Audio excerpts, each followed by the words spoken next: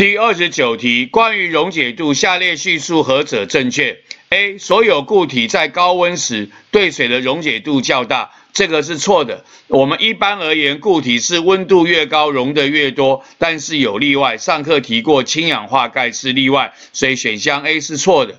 B 温度会影响气体对水的溶解度，压力则不影响，这也是错的。上课提过了，对气体而言，是低温跟高压的时候溶解度较高啊，所以选项 B 是错的。C 对水溶解度的表示，通常以 S 克。再多一百克的水来表达，答这个是对的，这是上课老师教过的溶解度的表示法。